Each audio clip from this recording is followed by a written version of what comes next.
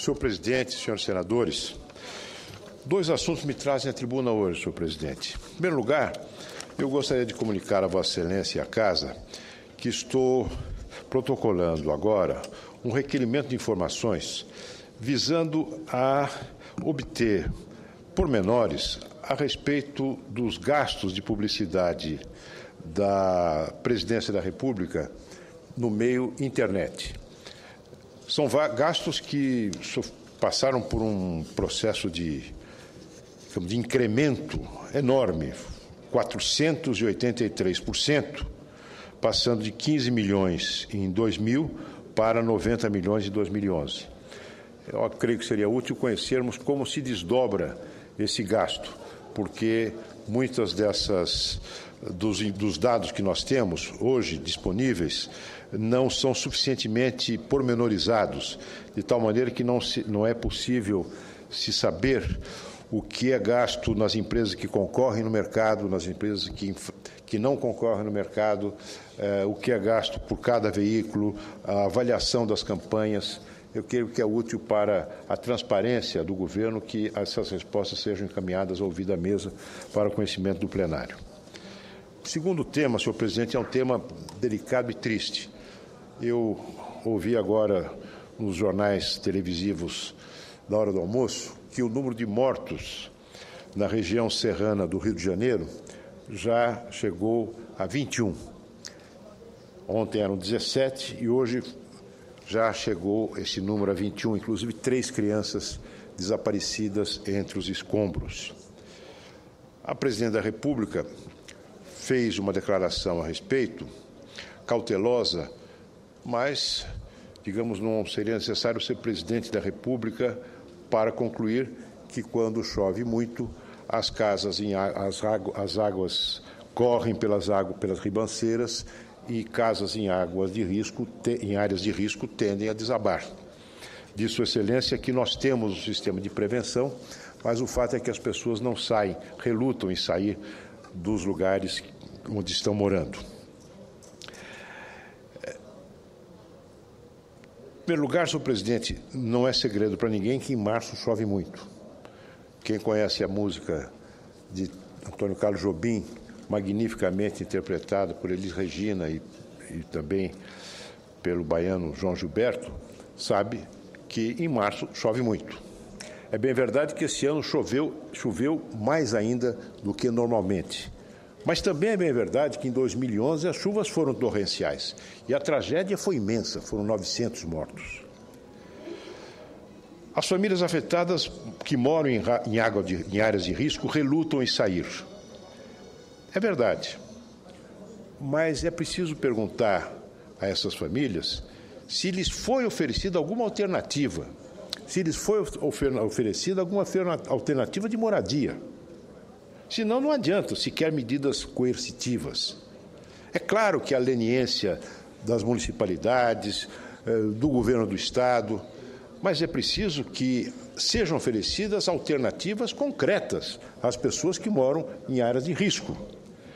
E essas promessas, senhor presidente, infelizmente, as promessas de que haverá alternativas não têm sido cumpridas. Porque, segundo a Folha de São Paulo, Nenhuma das casas populares prometidas às pessoas desabrigadas pelas chuvas que atingiram a região serrana em 2011, nenhuma foi entregue. A responsabilidade é do governo federal, toda ela? Não.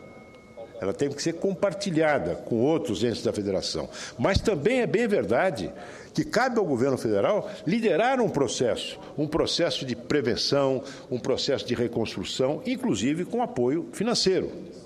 Ora, de acordo com essa mesma fonte da Folha de São Paulo, apenas seis meses atrás, seis meses atrás, o governo federal liberou os 545 milhões prometidos para a construção de casas e obras de prevenção em Teresópolis, Petrópolis e Nova Friburgo, ou seja, as cidades que foram atingidas pelos temporais em 2011, apenas seis meses atrás.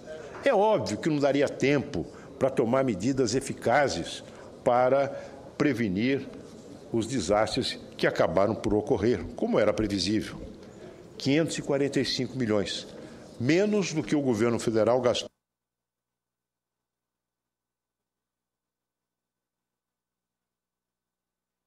Menos ainda do que o governo federal gastou em publicidade no ano de 2011 onde foram despendidos 500, mais de 570 milhões de reais.